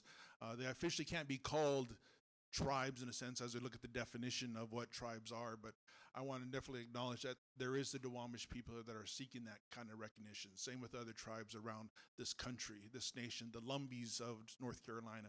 You know, there's tribes that we need to acknowledge, and uh, I just want to voice my support for them, voice my support of the Muckleshoot to be able to say they're self-determined, and uh, appreciate that uh, Mr. Stevens came here and shared his views and perspectives. You know, I just want to make sure I acknowledge them as well. Uh, Katsiawe, and I'll save the rest of my comments until later. Hi, Joanne. Hi, Vicky. Hi, Molly. Katsiawe. And thank you for lending him to us these past four years. We well appreciate that families pay a heck of a price for our service. Director Geary, next up. Thank you. Thank you, as always, for everybody coming and testifying. Um, I appreciate it very much. Um, as Aiden Carroll said, there's perhaps a lack of facts. Um, and I would appreciate understanding more because there's something about the conflict with UNEA that I just don't understand. I'm not understanding um, why, when we have such a strong Native presence on our board, and it seems a lot of different groups within our city working around the benefit for our students, that we still don't seem to have a way to engage in um, a conversation around, as Director Burke was saying, our mutual interest of supporting our students. So there needs to be more information shared. Um, and I don't know if it's a matter of a misunderstanding of the the what's happening or a misunderstanding or a misalignment of our policy. I read our policy. It's an older policy while people were talking. And I believe that there's room for improvement in that policy in terms of what it says and perhaps some room in the policy or in the procedures for thinking about as we look at the policies and the changes that could be made in it, how that would then be reflected in terms of creating different options for different relationships within the superintendent's policy based upon um, the interests that we outline in the board policy. So there's work to be done there, and I can see that where some discussion can happen. Um, that that is a conversation that needs to happen, and it needs to happen perhaps over time. I, I appreciate it needing to happen now, but we as a board, I also appreciate that we as a board instruct our district to do things in a certain manner. And that manner is to engage our communities and allow for time to process, to think through what the implications are. We don't want unintended consequences. But there is something here for you all to be here that puts us on notice that there is a fix that it is upon this board to figure out so that we don't have this happen. Um, I hear you when you say that Wilson Pacific was fine when it was Wilson Pacific, but now that it's Robert Eaglestaff, it doesn't appear to be so fine anymore. That is something that I hear, and I hear with regard to Licton Springs as well. Um, and that's important to me that we as a district honor um, what has been said in the past, and we need to figure out a way for our policies to align with our procedures and with our ability to serve our students in a way that is appropriate and honors the promises that were made. Um, that all is very, very vague, I understand. Um, but what I get out of it is that more work needs to happen and it needs to happen around a review of the policy um, so that we can implement it consistently and we don't have to create one off MOUs for every group that we have a relationship with um, unless we define why and when we're going to create those one offs based upon specific um, reasons. So there's that. I agree completely with what Director Burke said around ethnic studies. It needs to be integrated um, because a one off requirement that would likely be put in high school, um, while that would be a good thing, is too late. As you all know, you hear that. People are lost by high school um, in terms of not hearing about themselves and not reflecting, um, not feeling that education is meaningful to them or that they are meaningful to the school population that they are forced to be a part of every day. So I, I would really like us to really focus, continually focus on ways to create voice.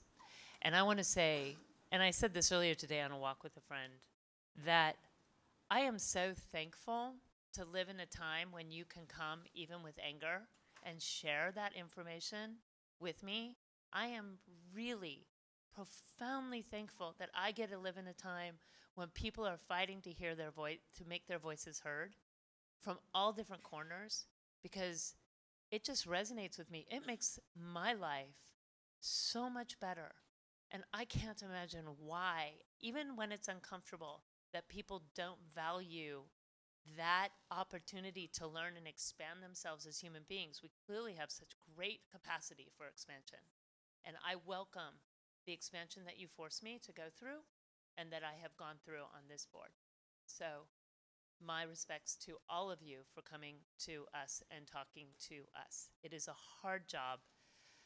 And we do like to hear thank you for the good things too. So please, when you can, come and talk to us about that because it, it, it can be hard. So thank you, everybody. My meetings um, for this next month will be Tuesday mornings, July 9th and 30th at Zoka on Blakeley from 8 to 9.30 in the morning. Director Mack, and then Director DeWolf. Um, good evening. Uh, the passion that I heard tonight was moving to me. I got tears in my eyes because um, community is important. Uh, it sounds like the community of UNEA and the work that's been going on has been very important to a lot of people. Um, and I do recall back in 2013 um, the testimony at that time and the board support for that. And I do recall um, various statements being made over time, and I, the naming of Robert Eagle Staff Middle School. Um, I attended the opening of the uh, murals, and um,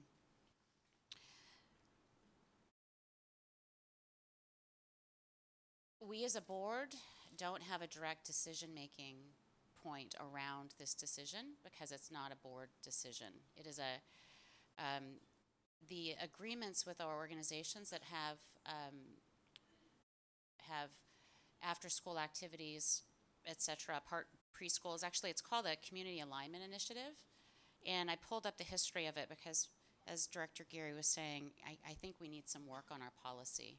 We have this policy 4265 that talks about it.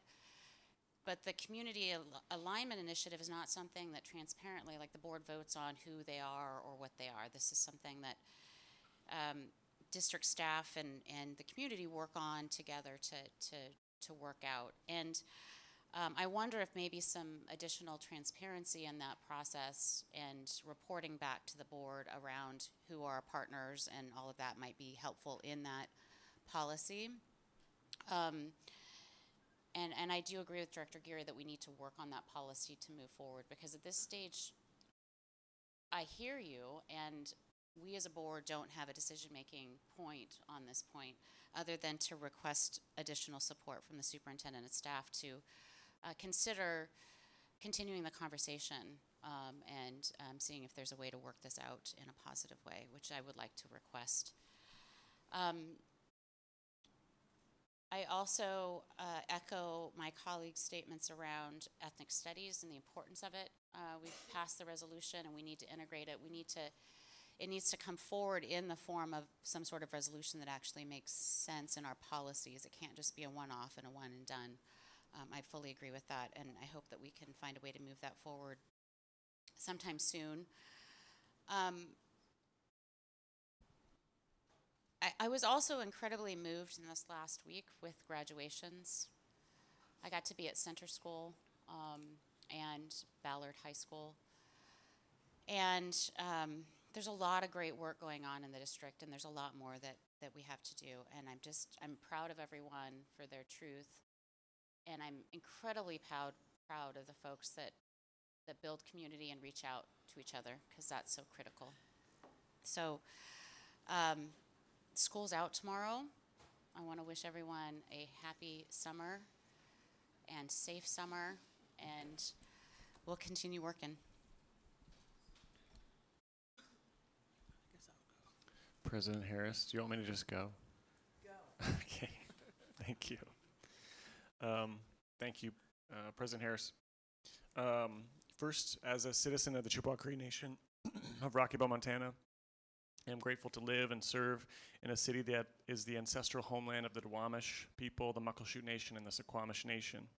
We acknowledge them as custodians of this land since time immemorial, and as guests, and in many of our cases as settlers on this land, we extend our deepest gratitude and respect to their ancestors and elders, past, present, and future. Uh, thank you especially to the students who came out today. Um, I think that uh, I, want to at least just commend uh, you for coming and speaking your truth. It is, uh, you have immense, immense courage um, for being able to speak your truth to us and to see you come out and spend your Wednesday evening um, is very humbling. So thank you for your spirit and advocacy on behalf of your peers for today and seven generations into the future. Uh, I, uh, I'm also grateful to my colleagues, Director Burke, Director Harris, and Director Mack, as well as um, our labor partners from the building trades, Superintendent Juneau and Fred Podesta, um, for your continued collaboration and support in bringing community workforce agreements one step closer to reality here at the Seattle Public Schools. It would be a first in the state when passed, and we are really excited about leaving a legacy um, that continues to invest deeply in our community. Uh, I also want to just extend some gratitude to the school leaders. I was really grateful to be able to attend the um, Garfield High School graduation, the Nova High School graduation, and the Seattle World School graduation. And I, um, I, I have weak tear ducts, uh, and these um, ceremonies are com- compl- uh, uh, absolutely moving, and it is so exciting to see our students graduate. And at, specifically at Nova and Seattle World School, um, the students each get an opportunity to talk about their school experience, their graduation, and their next steps, and it's always so moving. Um, and actually, I want to share a little bit, a, little story from the Garfield High School graduation. We had 18 valedictorians at, at Garfield High School. Uh, I don't remember that many when I was a kid. Uh, um, so they each came up and they did a shared speech. And at first, I thought it was just going to be kind of funny, witty, or maybe using words and terminology that I don't necessarily use or know, like lit and all the other fun words. Um, I know I'm old now, Jesus. But but what was really excite what was really exciting about these students, and I want to continue to to just elevate the students that came here tonight. You were in good company because these 18 valedictorians in their shared speech for for for the remainder of the whole speech implored all of us as adults to adequately and effectively and meaningfully address the climate crisis because in 11 years we will have needed to adequately reduce and i mean um, dramatically reduce our greenhouse gas emissions by 2030 because by 2050 we need to be at net zero uh, greenhouse gas emissions. And so th- so i feel even more compelled to continue continue working for these students particularly as we are graduating them to, into a world that is deeper and scarier. Um, I want to also just uh, give thanks to the parents from Washington Middle School and Bailey Gatzert Elementary. We've had uh, kind of a wild ride this year, so I was really grateful to speak with parents and families today. Um, I uh, do give out my personal cell phone to families, um, and so I was really grateful to speak with some some parents today. So I have some comments that I'll be sharing as part uh, some of the introduction items come up. Um, and before I end my portion, particularly because this is one of our last board meetings, and um, because I get to do this, uh, uh, recently I went back and visited my grandmother in May, and I, and I was gifted my Cree name, and it's Besin Ganigamot, which means young buffalo leader. And my grandmother um, passed away about a week ago. So I am still uh, partially grieving, so apologies if I am a little emotional today, but I wanted to read three poems. They're very short, President Harris, I promise. From Shikachi, they put out a book each year of poetry. And I want to be really thoughtful about the fact that what we heard tonight were from students and families and community and people that say that we do not serve our native students well. And it makes invisible the students in this book.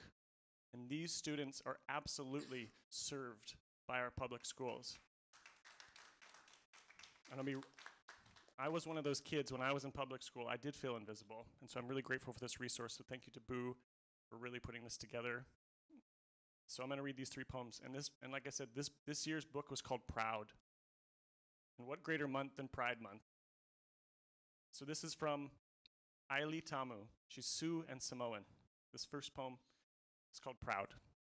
Fitting. I am proud of my auntie. She is hardworking. She helps kids in middle school and high school by supporting them through their issues. She is a social worker. She is very patient. She is also important to my family. She is somebody I can lean on for support. She is the mom I wish I had. She is a role model to me.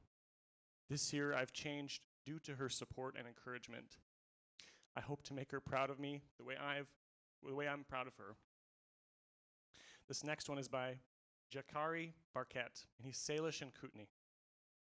I'm proud of myself for not being locked up because I'm making good decisions. I'm proud of myself for still coming to school, even though right now it feels like a waste of time. I'm proud of myself for finding something to do with my free time and playing football. And I'm proud of myself for being me. And finally, this one really got me. This one's called He is Pride. And I especially grateful to my father these days. So, this is from Cody Stout in East Cherokee. I would like to be a father because kids are cute. I will help my kid with everything. My father is the one who I want to be like. He is pride to me. He helps me do things and learn new things. He works hard. I will be like my father, a hardworking man, and I would like to be a professional gamer. Thank you.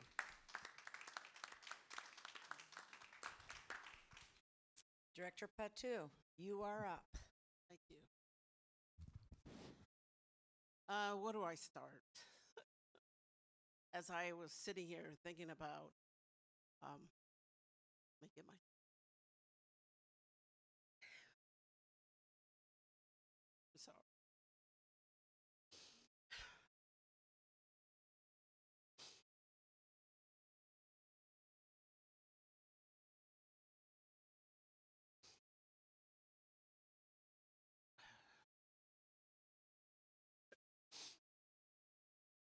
As I was sitting up here um, reminiscing in terms of how long I've been on this board, I thought about all the work that was done in terms of uh, the many things that I actually, as a, uh, a district employee, um, that I did not like or wanted to change. There's a saying that if you want to make changes, you need to go where you, change can be made. So I decided to join the school board.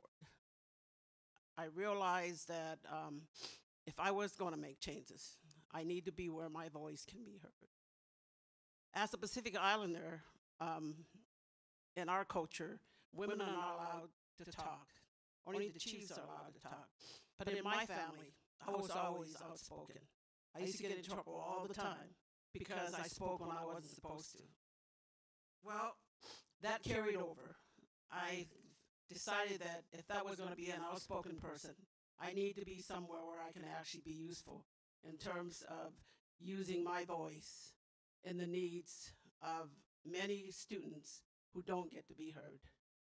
And being on this board has been uh, quite an experience.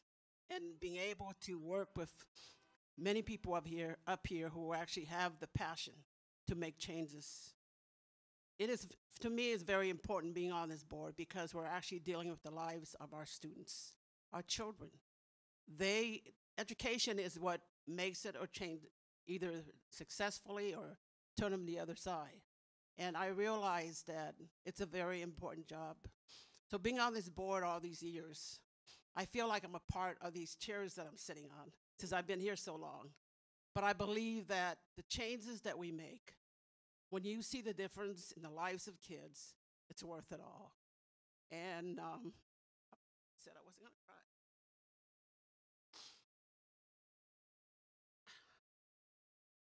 So I want to say thank you, uh, Seattle, for giving me this opportunity. I'm sorry.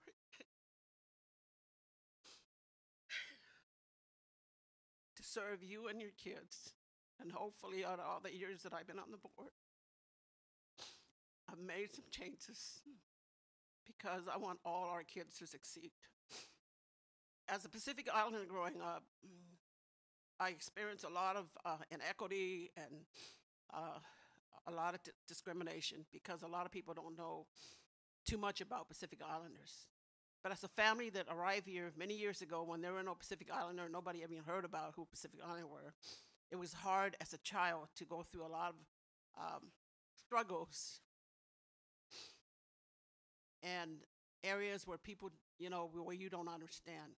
But as I go through those struggles now as an adult, I realize how important it is to keep to the truth and making sure that every student in Seattle Public Schools um, have their culture and belief in terms that all of us educators are here to help support them in any way that we can. So when they do leave Seattle Public Schools, they'll have all the knowledge they need to be successful in their next life. Thank you, Seattle voters, for voting me on this board. I appreciate all the years that I've been here, and I believe and I hope that I've made some difference. And that as I get ready to step down, that hopefully the next person that comes behind me will love these kids as their own, as I love them. It didn't make any difference what color, what ethnic group they were from. They're all our kids. And as a board director, my responsibility is to make sure that every student that enters the school receive the education that they deserve and be able to leave and know that they've got that education and move on to the next level of their life.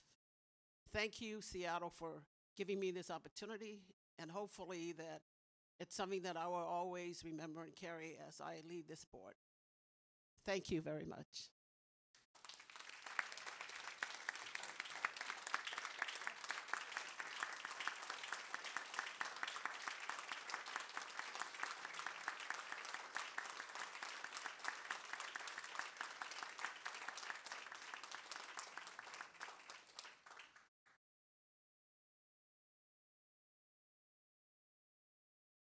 Talk about a hard act to follow. Holy smokes. Okay, last but not least. Um, Aaron, I wasn't joking about drumline lessons as part of the September board retreat. I think it would be a grand, grand team building activity between board and senior staff.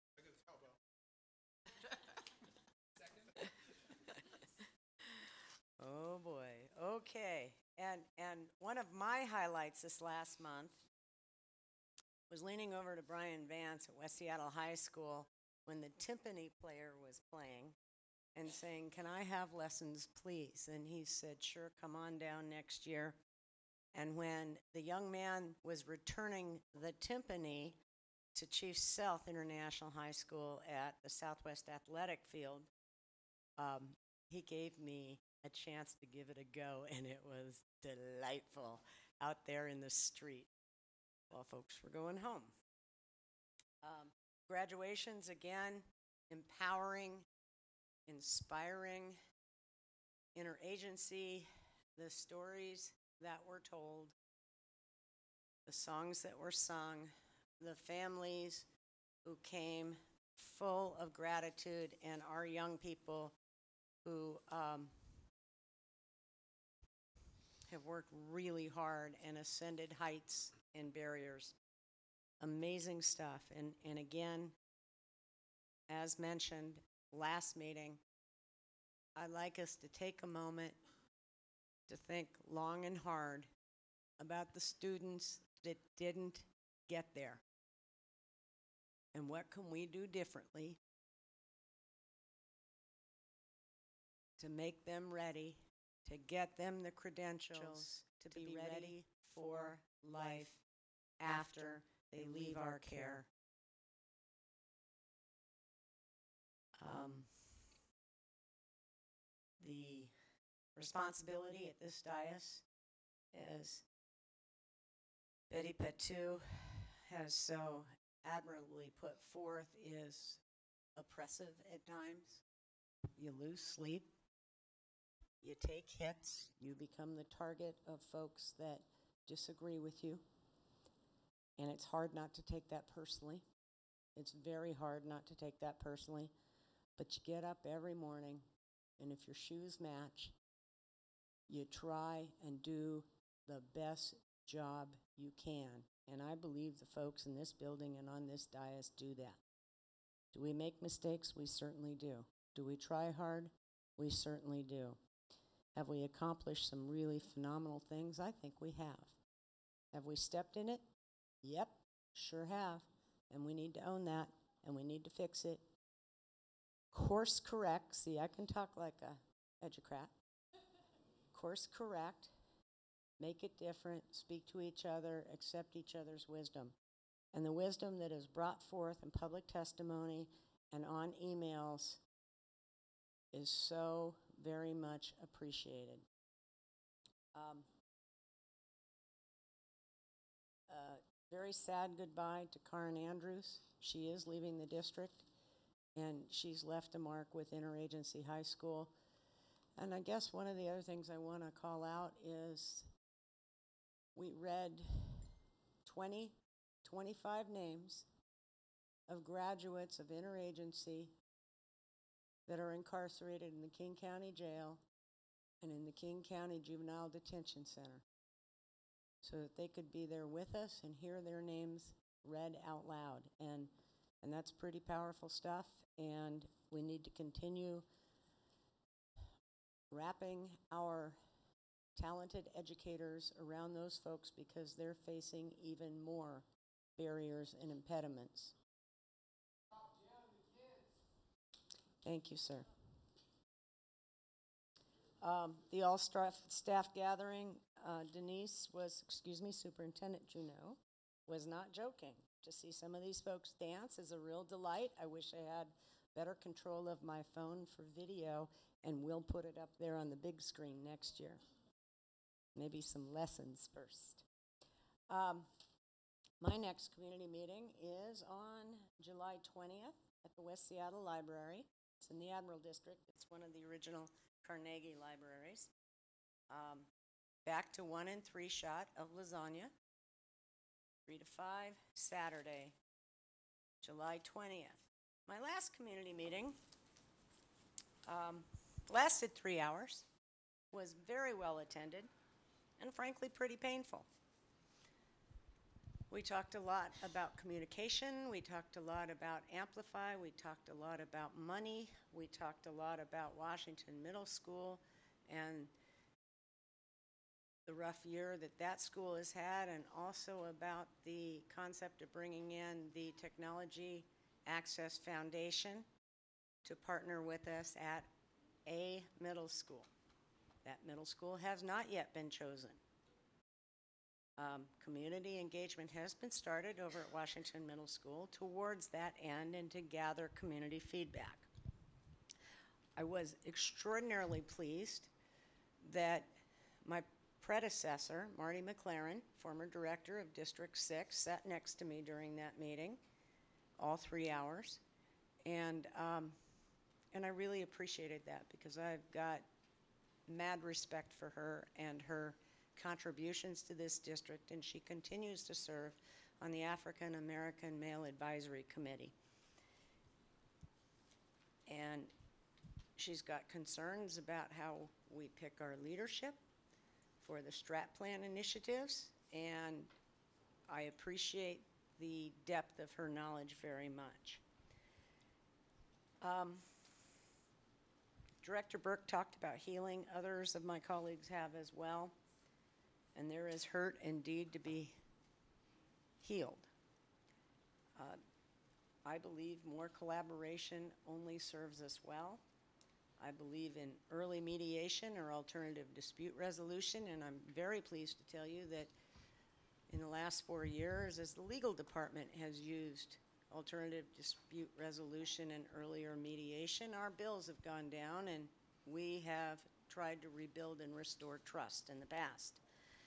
I am also feeling a little burned and blindsided about the uh, UNEA scenario, and it's my hope that we can continue conversations, give respect to each other, and figure out a way to move forward and keep the children first and foremost.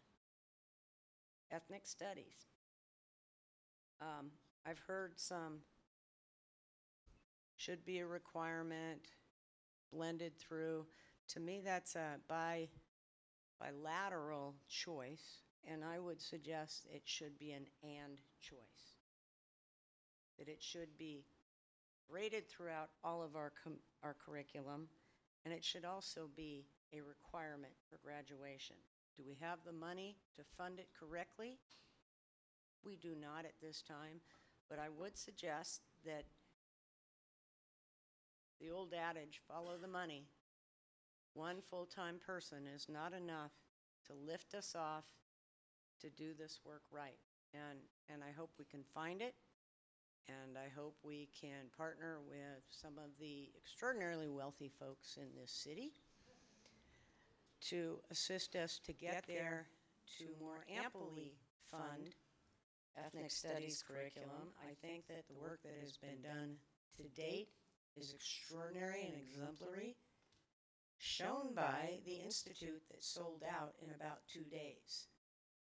That means there is a very deep thirst out there for our educators that want to learn and pass on a more relevant curriculum that looks like our students. And mad props to Dr. Kyle Kinoshita, who has sponsored a great deal of this work, and he is going to be um, retiring. And remember, the board doesn't hire people. We hire the superintendent. The superintendent hires folks. She knows very well, very strong, passionate feelings about how and when we ramp some of this um, this up and how we do it. I think we all agree on the why. I think it's the how that that is tripping us up in some fashion. And um, I look forward to continued engagement and collaboration on those decisions, but well appreciate those are not board decisions. Um, we say goodbye to Director Patu. We have an engagement process to appoint her successor. And the next person that uses the word replacement in my presence, it's going to get ugly because people are not replaceable. That is a successor. Um, and on August 7th, from 6 to 9 p.m., we will have a candidate appointee public forum at Rainier Beach High School. We will be uploading to the web all the appointment appointees, interested candidates, letters of, of uh, interest and their resumes, and they can tell us why they want to be here. Now, if we don't have so, so very many appointees, it is our hope that we can take questions as well from the audience. But stand by and collaborating and making seven schedules and staff work as far as landing the dates. See, I can talk like y'all now. Landing the dates is is uh, not as easy as it seems or feels. So stand by. And again, we appreciate your feedback. We appreciate your presence. And I need to know from my colleagues whether we want to go through action items or we want to take a 10 or 15 minute break because you have not had dinner yet and it is 7:30 and I might remind you that we also have executive and closed sessions after this meeting. We will not be here, however, over my mean little dead body until 11:55 p.m. again. 15 minute break. We're at rest. Thank you.